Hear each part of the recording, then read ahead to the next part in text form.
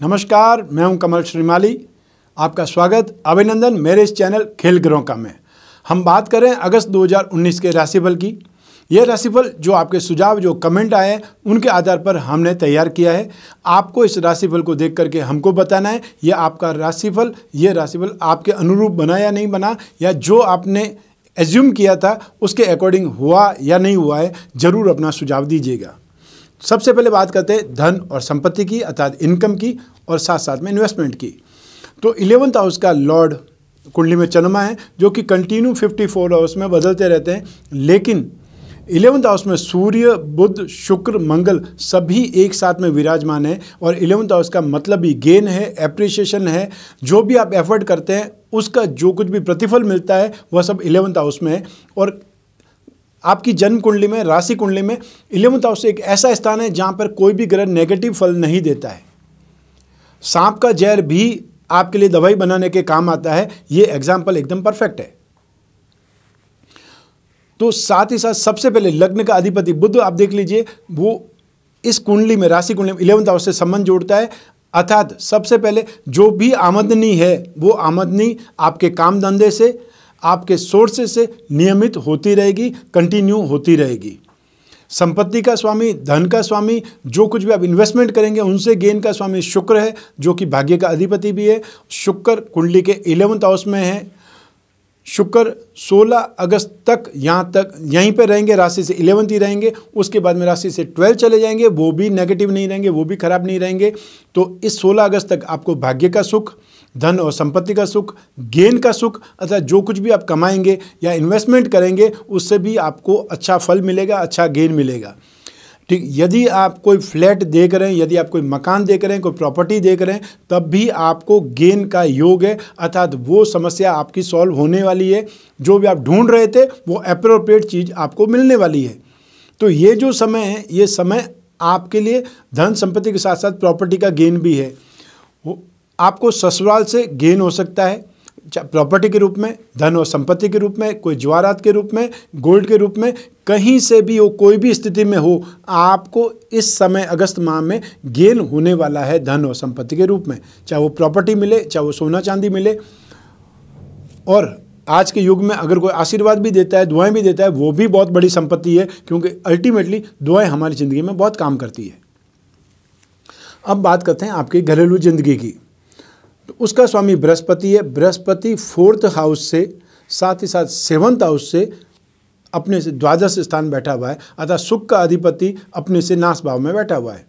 तो राशि से थर्ड आए हुए बृहस्पति को शुभ नहीं माना जाता है। ऐसी स्थिति में जहाँ पर भी बृहस्पति देख रहे हैं, वहाँ ज़रूर इंप्रूवमेंट करेंगे। तो बृहस्पति सेवंथ हाउस को देख रहे हैं, बृहस्पति भाग्य भाव को देख रहे हैं, बृहस्पति इलेवंथ हाउस को गेन को देख रहे हैं।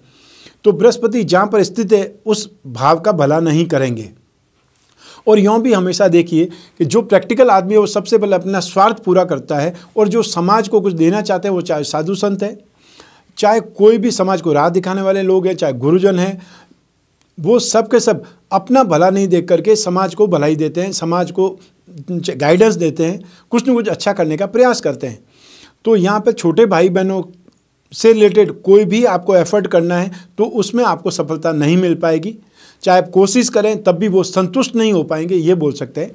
कोई भी मित्रों ने आपसे हेल्प मांगी कोई सर्कल में से आपको सपोर्ट के लिए जी आ, आपकी मदद चाहता है आपका सपोर्ट चाहता है तो शायद वो आप उतना ठीक हंड्रेड परसेंट नहीं दे पाएँगे उतना कंप्लीट नहीं कर पाएँगे और साथ ही साथ असंतुष्टि ही देंगे क्योंकि समय आपका वैसा नहीं है कि आप जो भी एफर्ट करेंगे अपने से छोटे लोगों के लिए चाहे स्टाफ के लिए छोटे भाई बहनों के लिए, अपने दोस्तों के लिए, उस स्थिति में उनको संतुष्टि नहीं मिल पाएगी।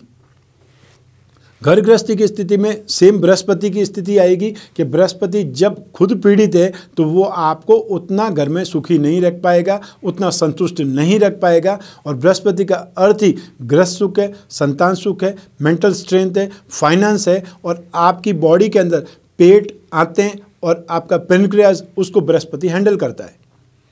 उस ओर से आपको असंतुष्ट होना पड़ सकता है। आपको माता पिता के स्वास्थ्य को लेकर के चिंता हो सकती है। हो सकता है वो कहीं जाना चाहते हों और आप अपने समय भाव के कारण अर्थात अपने बिजीनेस के कारण उनको ना ले जा पाएँ। यह स्थिति आ सकती है। तो आपने उसको मैनेज करने की कोशिश करनी है। आप नहीं जा पाते, अपने जीवन साथी अपनी पत्नी के साथ भेज सकते हैं, अपने बच्चों के साथ में उनको भेज सकते हैं, जहाँ भी उनको जाना है, जो भी यात्रा करनी है तो ये ज़रा ध्यान देने की आवश्यकता है। अब बात करते हैं शिक्षा की। शिक्षा का अधिपति शनि है। एक त्रिकोण का अधिपति केंद्र में जाना हमेशा राजयोग कहा जाता है। चाहे शनि बृहस्पति के स्थान में है, बृहस्पति की राशि में है, उसके बावजूद भी मैं ये कहना चाहता हूँ कि शनि बहुत सेफ़ पोजिशन में है, शनि बहुत सुरक्षित स्थिति में है। इस कारण से जो भी साइंस के स्टूडेंट हैं जो मैकेनिकल लाइन के स्टूडेंट है, उनको ज़रूर बहुत अच्छी सक्सेस मिलने वाली है एक्स्ट्रा ऑर्डिनरी सक्सेस उनको मिलने वाली है। जो कुछ भी एमआर है मेडिकल रिप्रेजेंटेटिव्स हैं, वो भी शनि की स्थिति में ही आते हैं। उनके लिए मार्केटिंग एक वर्ड है तो सूर्य और बुद्ध दोनों ही साथ में ऐसी स्थिति में मैं ये कह सकता हूँ कि जो आपका टारगेट है, वो टारगेट अचीव होगा। आपने एफर्ट अगर आप 100 परसेंट करेंगे तो आपको रिज़ल्ट 125 परसेंट मिलेगा। अतः जो आप एफर्ट करेंगे, उससे ज़्यादा अच्छा रिज़ल्ट आपको मिलने वाला है। तो एजुकेशन में भी यही है, जो भी इंटरव्यू देना चाहते हैं, जो भी एग्ज़ाम देना चाहते हैं, जो भी एडमिशन के लिए ट्राई कर रहे हैं, दो सेक्टर मैंने बताए हैं।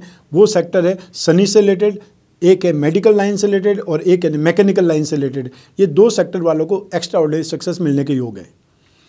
जिन लोगों को बहुत ज़्यादा एफर्ट करने पड़ेंगे, वो है फाइनेंस से रिलेटेड अगर कोई एमबीए फाइनेंस कर रहा है, उसको ज़रूर एफर्ट ज़्यादा करने पड़ेंगे, तभी संतुष्टि मिल पाएगी। अब बात करते हैं हेल्थ की।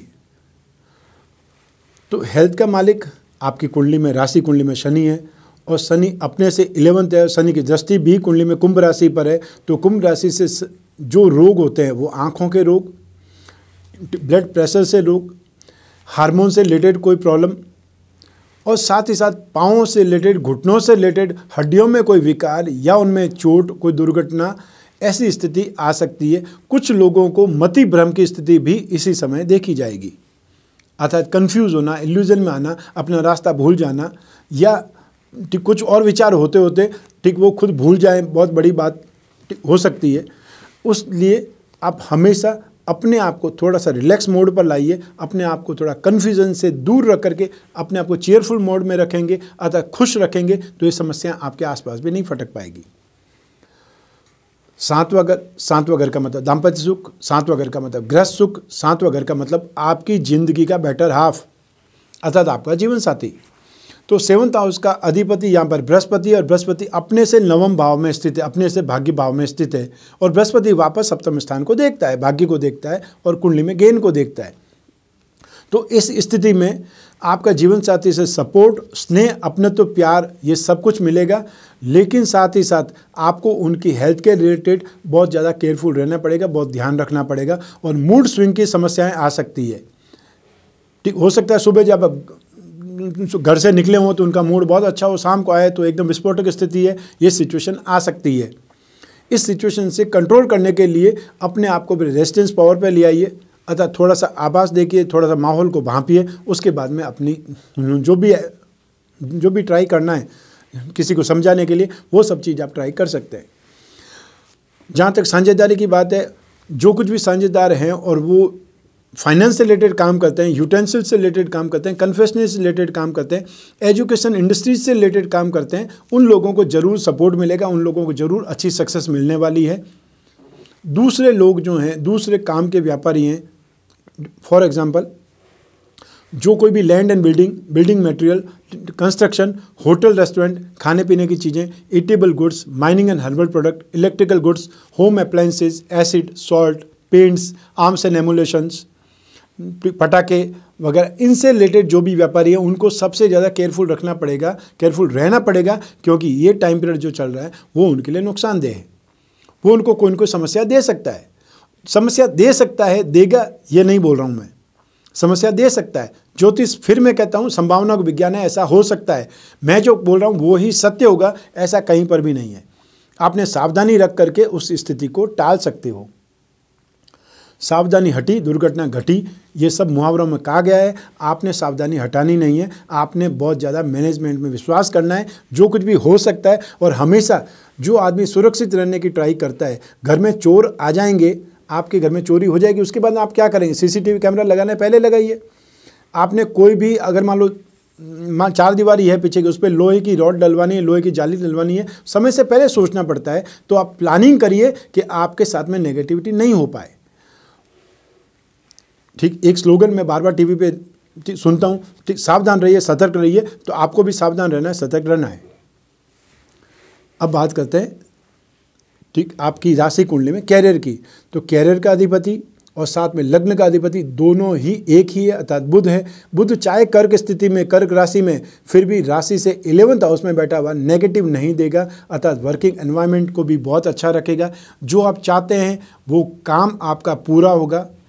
अर्थात जो भी आपकी योजनाएँ हैं, वो सक्सेस होगी। राहु टेंथ हाउस में है और राहु टेंथ हाउस में स्थित होकर के कुंडली में सेकेंड हाउस को, कुंडली में फोर्थ हाउस को और साथ ही साथ सिक्स हाउस को देखता है। ऐसी स्थिति में जो भी आप प्लानिंग करेंगे, वो प्लानिंग आपकी सही होगी। प्लानिंग आपकी सक्सेसफुल मोड पर रहेगी। अतः सक्सेसफुल प्लानिंग करके उसका लाभ आप उठा पाएँगे। ये कहने का उद्देश्य है। तो जो काम धंधा है वो अच्छा चलेगा। जो जॉब कर रहे हैं, वो लोगों के लिए मैं स्पेशली कहना चाहता हूँ, इस समय ट्रांसफ़र की एप्लीकेशन देने की गलती मत कीजिएगा। वरना हो सकता है ऐसी जगह ट्रांसफ़र हो जाए, जहाँ पर जहाँ पर ट्रांसफ़र होना सज़ा के तौर पर देखा जाता है। इसलिए इस कंडीशन को हमने एंटरटेन नहीं करना है। और जो कुछ भी हमारे ऑफिसर्स हैं, जो कुछ भी हमारे उच्च अधिकारी हैं, उन लोगों के पीछे चलना है, घोड़े के आगे चलना है, ये कहावत है कि घोड़े के आगे चलिए, अफसर के पीछे चलिए, वो वाली कहावत आपने ध्यान रखनी है, वो याद करके रखनी है। हमेशा वही व्यक्ति हमेशा सक्सेसफुल रहता है जो इस चीज़ को मानता है। वरना चोट हो सकती है, दुर्घटना हो सकती है और दूसरों के कोप भाजन बन सकते हैं, अर्थात उनके गुस्से के शिकार आप बन सकते हैं। अब बात करते हैं ट्रैवलिंग की। तो ट्रैवलिंग का मालिक सूर्य है, अपनी राशि से ट्वेल्थ हाउस में है।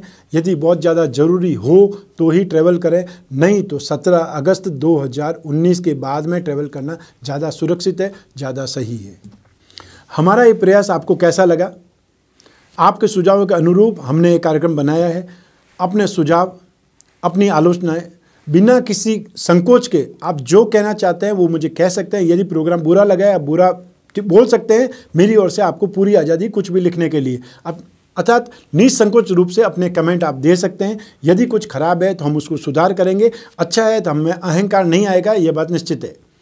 स्वस्थ रहिए, प्रसन्न रहिए, अपना अपने बच्चों का और साथ में अपने घर में जो वृद्ध हैं, उनका ख्याल रखिए, क्योंकि आत्महत्या या आपसे नज़दीकी ही उनकी सबसे बड़ी पूंजी है। जो कुछ भी रुपया पैसा कमाएँगे, वो आपके साथ में नहीं जाएगा, लेकिन आत्महत्या आपकी यादें आपने जो अच्छे कर्म किए हैं, वो सदैव आपकी याद बन करके रहेंगे। मैं यहाँ पर नेगेटिव नहीं बोल रहा हूँ। हम सब एक दिन यहाँ से चले जाएँगे, लेकिन क्या अच्छा करके जा रहे हैं, ये ज़रूरी है। इसलिए एनवायरमेंट और सफ़ाई। हम अपने घर की सफ़ाई कर सकते हैं, अपनी फ़ाइल को साफ़ रख सकते हैं, अपने सूटकेस को साफ़ कर सकते हैं, अपने बिस्तर को साफ़ रखते हैं। तो क्या हमारे मोहल्ले को, हमारे आसपास को साफ़ रखना, स्वच्छ रखना हमारी ज़िम्मेदारी नहीं है?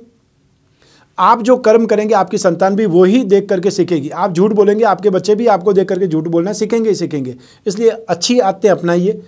आप भी सही रहिए, उनको भी सही बातें बताइए, ताकि ये जो धरती प्रॉब्लम जो हो रही है एनवायरनमेंट की प्रॉब्लम हो रही है, और साथ साथ पानी की समस्या हो रही है, इन दोनों समस्याओं से हमने फाइट करना है, और इसका समाधान ढूंढना है, और समाधान आप और हमको ही करना है। हमको सरकार के भरोसे नहीं बैठना है।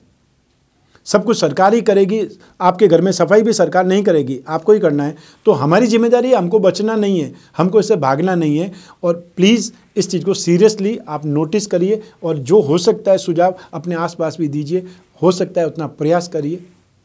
नमस्कार।